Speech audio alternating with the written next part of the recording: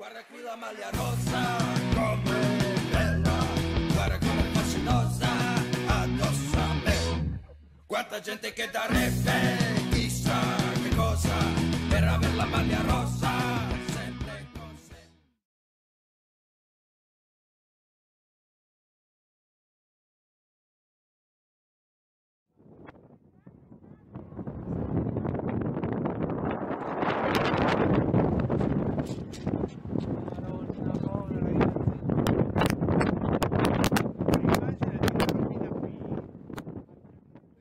questa sala operativa, che è il cuore del nostro istituto. Da qui noi controlliamo tutti i vulcani attivi della Sicilia, quindi l'Etna, lo Stromboli, l'isola di Vulcano, anche l'isola di Pantelleria e in più le due zone sismiche più importanti d'Italia, cioè i Monti Blei, il sud-est della Sicilia, e i Peloritani, la zona di Messina.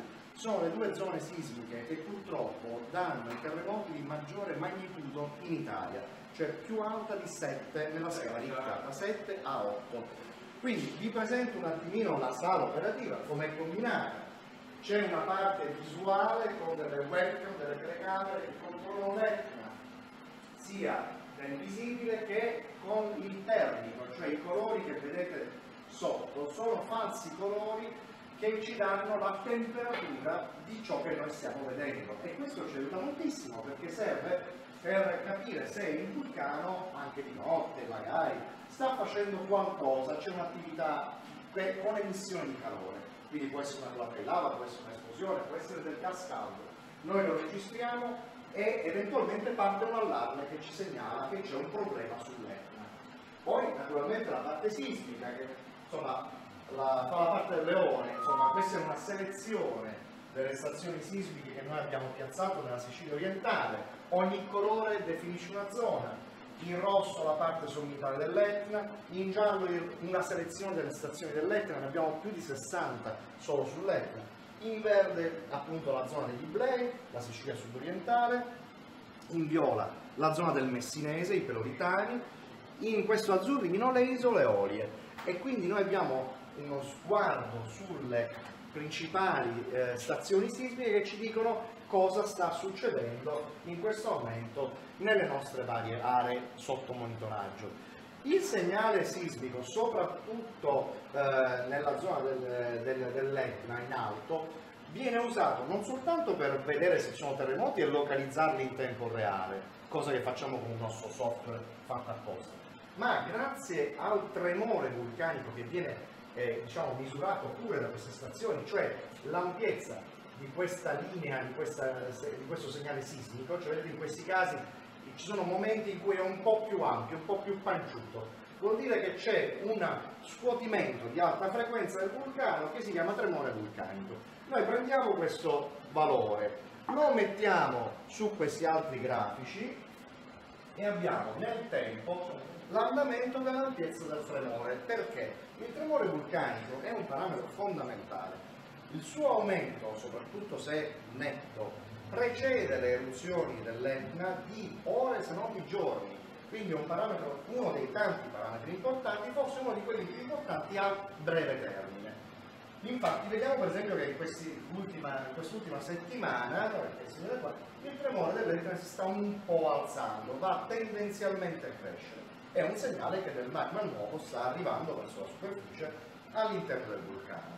Grazie a questa situazione, grazie al, al segnale digitale, noi possiamo anche visualizzare la sorgente del tremore vulcanico. In questi grafici abbiamo una mappa dell'Etna e due sezioni, due profili dell'Etna stesso, uno est-ovest, l'altro nord-sud. Possiamo cioè vedere quasi in 3D la posizione della sorgente di tremore. Come vedete in questo momento, questa è la mappa dei, dei crateri sommitali, è molto prossima al cratere di sud-est, che è quello che ha fatto le ultime eruzioni quest'anno e che molto probabilmente sarà quello che farà la prossima eruzione. Quindi in questo momento la sorgente di tremore, il, il magma che degassa sostanzialmente, chiamiamolo così, è posizionata in corrispondenza del cratere di sud-est. Qui naturalmente abbiamo anche le classiche mappe che ci permettono di localizzare in pochi secondi i terremoti che avvengono sul- nelle nostre aree di competenza. Questa è l'Etna, vedete C'è stato un terremoto eh, il 5 maggio, eh, l'ultimo che abbiamo registrato eh, nella zona dell'Etna, di magnitudo 2.1, eccetera, eccetera. In questo modo, eh, in pochi secondi possiamo fornire alla protezione civile i parametri di base che ci descrivono il terremoto che, sta, che è avvenuto. Poi abbiamo una mezz'oretta per raffinare un po', per diciamo, affinare la nostra precisione dare una, una localizzazione, una magnitudo ancora più precisa.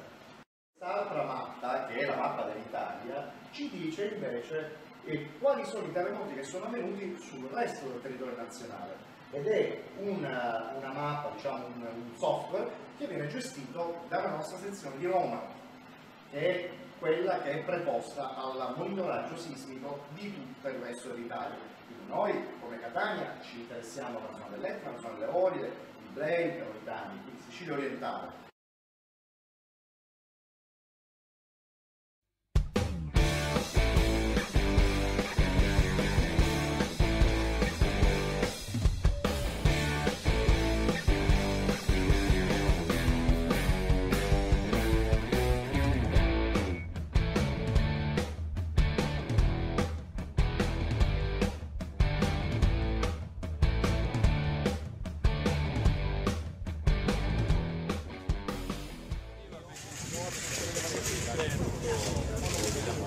para una victoria. Supongo que no arriba. No, no, los acompaño.